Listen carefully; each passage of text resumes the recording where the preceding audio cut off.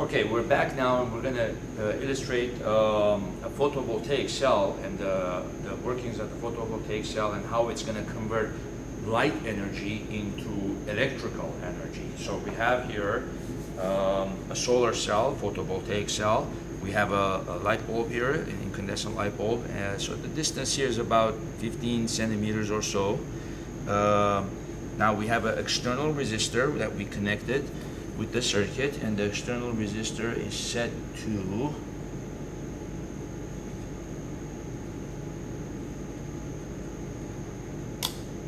wasn't set to anything.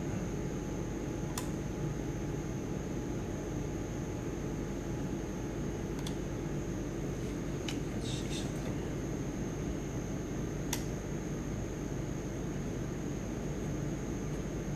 Okay. Okay, so I'll start from here. So we have an external resistor here and it's connected in series with the circuit. So we go from the solar cell to the resistor, from the resistor to the ammeter, and then ammeter back to here so we, uh, we complete the set. And then we put the voltage meter, the voltmeter across the resistor or across the solar cell and we can measure the voltage that the solar cell is uh, giving. The resistor is set to 20 ohms so I could also change that. So in, if this was a lab, we would try out many, many factors.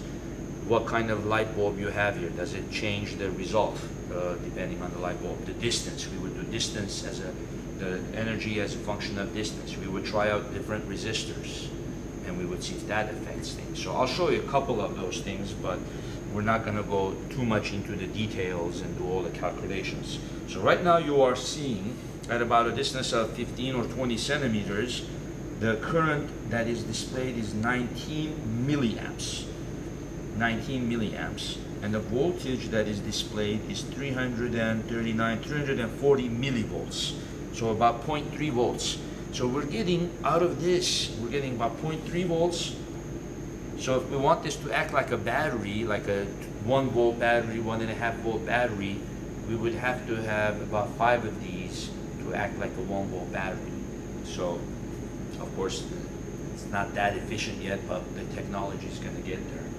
So now if we want to try a couple other things out, we could put a green filter, see what the effect of that is. That's going to allow the green light to go in. Now the current went to 11 milliamps and the voltage went to 198 millivolts. So the voltage dropped and the current dropped a bit.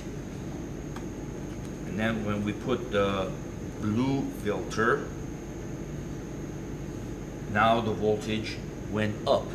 So the blue filter is allowing the blue, most of the blue light to go in, uh, to go through. So the voltage uh, went to 20, 220 millivolts, 220 millivolts, and the current went to 12 milliamps. So the current increased. So it looked like the blue light affected the solar cell more than the green. And then when we put the red, it even goes more up. So it goes almost as high as what it first, what we began with, 297 millivolts, 16.95 milliamps. So it went almost to its original state. So the red allows the most energy to be penetrated to the um, photovoltaic cell. Then it's blue, then it's green. Now the other thing we could test is I could raise this roughly about 30 centimeters and you can see here 170 millivolts so the voltage goes down. So of course if the light source is farther away it could go less. Of course it should go less. And then the millivolt the milliamps 9 milliamps. So if I go much much away now it's saying 40 uh, 45 millivolts so it dropped quite a bit. Now if I go close, let's see if I go as close as, let's see here.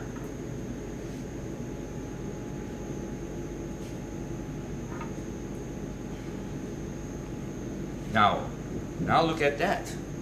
If you come up closer, you can see. Now I'm actually having it function as a 1.7 volt battery. It's giving me 1.7 volts and over here it's 96.4 milliamps So it's delivering a, a current of 96 milliamps. If I want to increase the current, I could always change the resistance and increase the current. So you have now a very interesting uh, scenario here that you're converting light energy, and if you bring it close enough, it's acting like a good home battery. So this is going to be the, the energy, the, one of the sources of energy in the future.